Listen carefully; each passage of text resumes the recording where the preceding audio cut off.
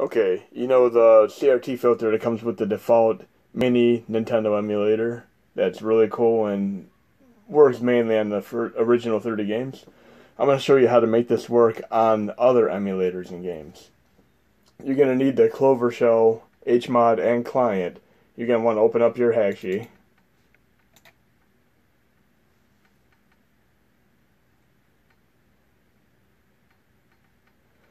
And you're going to copy the Clover Shell HMod into your user mods folder.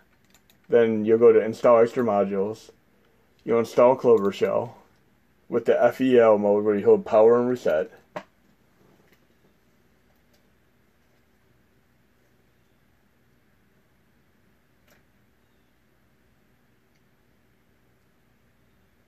You guys probably remember when it used to take a good 45 minutes to an hour to flash all the games on the mini Nintendo using FEL mode. Seemed like such a long time ago. Now you can flash in about one or two minutes flat. You're also going to need the Clover Shell client, which you're going to want to extract and copy into your C drive. I've already done this. Now, once this uh, Clover Shell HMod is installed completely, you want to have Hakchi closed. You cannot have it open if you want to access Clover Shell HMod.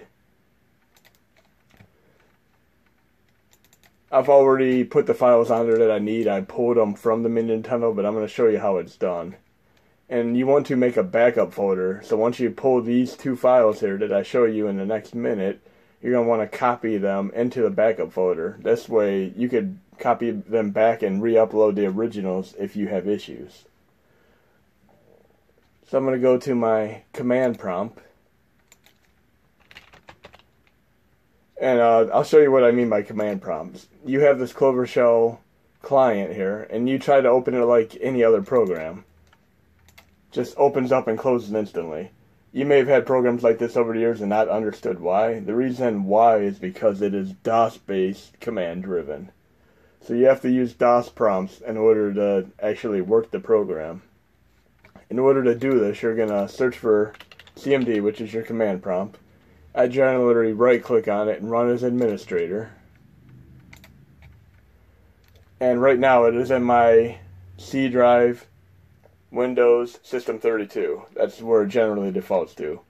If you do change directory back back, which is a common IRC DOS prompt, especially for FTP servers, the old school ones. I'm going back a directory. I'm going to do it one more time to go back to my main root drive. Now I'm going to my Clover Shell folder that I made, which is on my root drive. I'm just going to change directory, space, Clover Shell.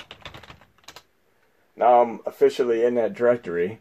The commands I need, I already typed out to make things easier. Because you could just copy and paste them in there.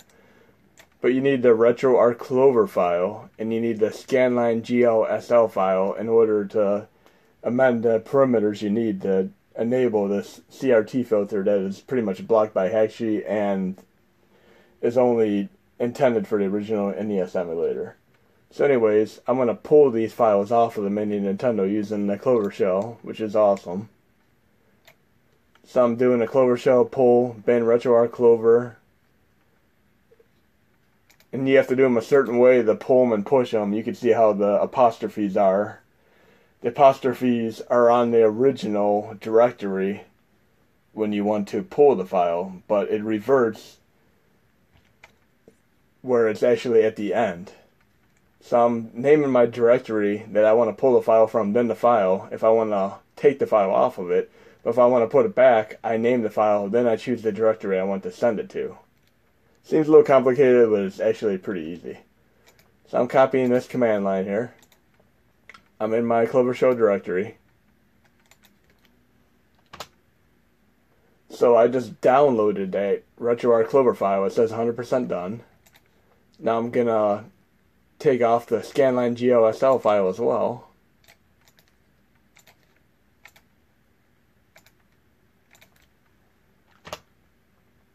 That's 100% done as well. Now that you have these two files, you want to make sure you back them up into your backup folder. That way you could copy them right back into this main root directory of Clover Shell and re-upload them to the mini Nintendo and fix any issues. You could also uninstall Hakchi and redo it that way too, but this is a lot quicker.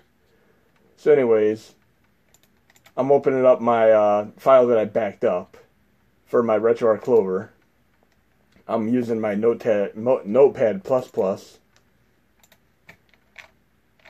If you look at lines 56 and 57 where it says allow scan lines only for simple systems, then allow CRT right underneath it, these you're going to want to delete and then save the file.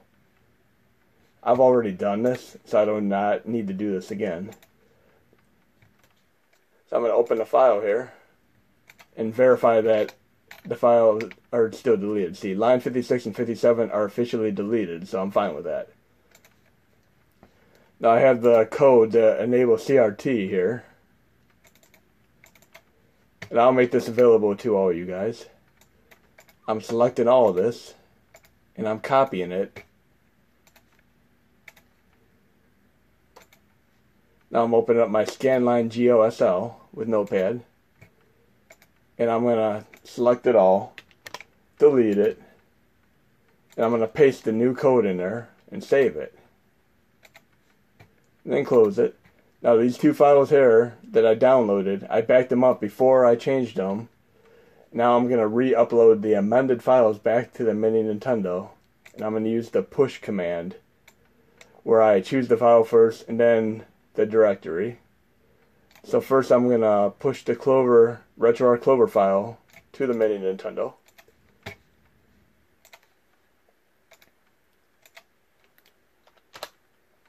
And that's done.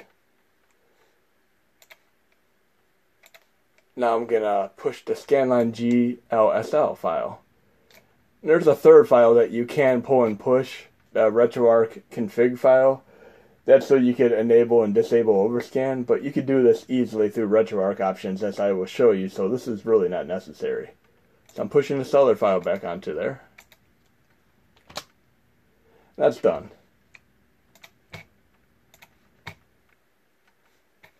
Now I'm going to open up my Hakchi.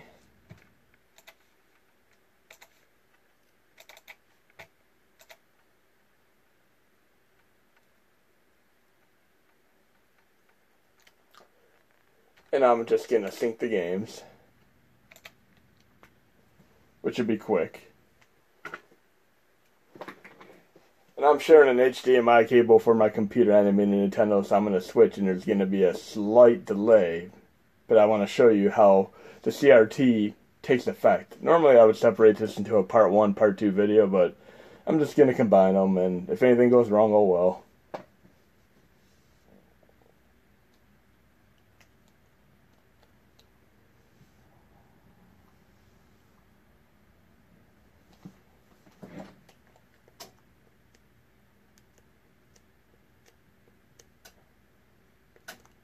Now I'm going to switch the cable real quick.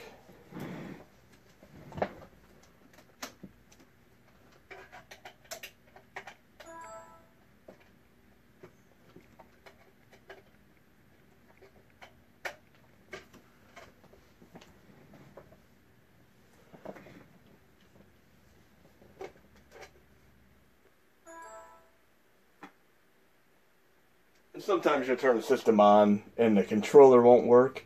So you just want to turn it back off and right back on, and then the controller will be fine again. So I'll show you the next step of getting the CRT filter running.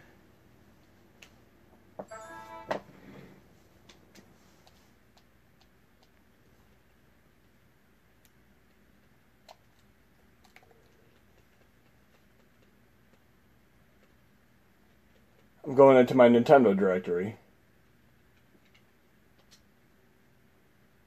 And I'm going to open up a random game. We'll say 1942. Then I'm going to do my select plus start for RetroArch. Going into my settings.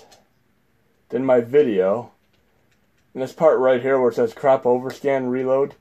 The most current Hakchi's have this disabled by default. So that's the RetroArch configuration file that you can download and change. But all I do is just enable it right here. You could just turn it on like right here.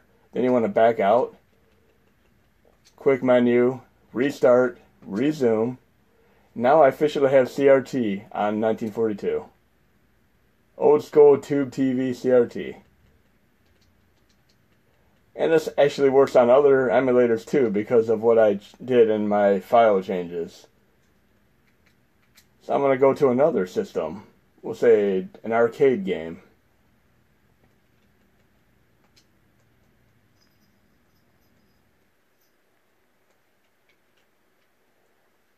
When I do testing, I just keep it in, in an unsorted folder you almost always have an unsorted folder and you end up having to delete it and delete the recycle bin. I just leave the unsorted folder there and just throw my test games into there. It makes things a lot easier. So I'm opening up Shinobi Arcade. And I have my CRT filter here. Now here's what's really cool about this. I'm going to my main menu. And with the adjustments that I made to the files, I could go up to my display, and by changing CRT filter here, outside of RetroArch, it's changing it in the emulators and games themselves.